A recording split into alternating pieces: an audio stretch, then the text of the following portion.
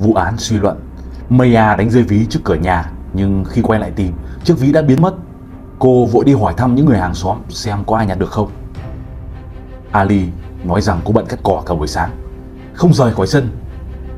Người thứ hai, Drake, cho biết anh chỉ vừa mới thức dậy khi Maya gõ cửa.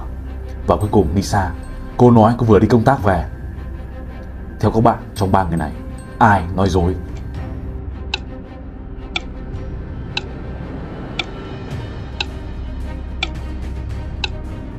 Người nói dối là Alin Cô nói cô cắt cỏ cả buổi sáng.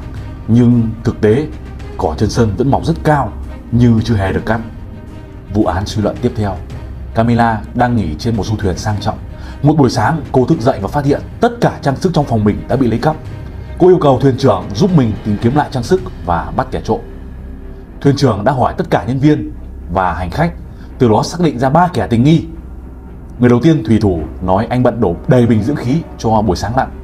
Người thứ hai đầu bếp cho biết đang lên thực đơn cho tuần tới. Và cuối cùng, hành khách, cô nói cô kiệt sức vì buổi lặn hôm qua lên ngủ say sưa cho đến khi thuyền trưởng hỏi chuyện. Theo các bạn, trong ba người này, ai là kẻ trộm?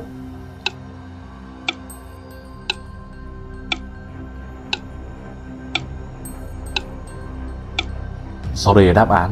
Kẻ trộm đó chính là người thủy thủ.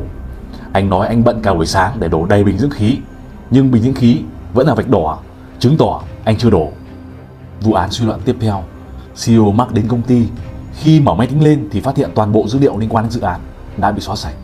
Thám tử đã điều tra được 3 người từng đến gần máy tính của Mark. Nhân viên kế toán nói, máy của ông chủ bỗng nhiên bị đơ, cô chỉ ấn vài phím cơ bản thì máy hoạt động trở lại bình thường. Người thứ hai chuyên viên IT, anh cho biết anh chỉ nâng cấp phần mềm diệt virus và không chạm vào thứ gì khác. Và cuối cùng cô thư ký, cô nói chỉ đứng gần chuyên viên IT quan sát anh ta làm việc và giúp anh ta khởi động lại thiết bị. Sau khi lấy dấu vân tay trên máy tính và đồ đạc xung quanh, thám tử đã phát hiện ra hung thủ là một trong ba người. Các bạn đoán là ai?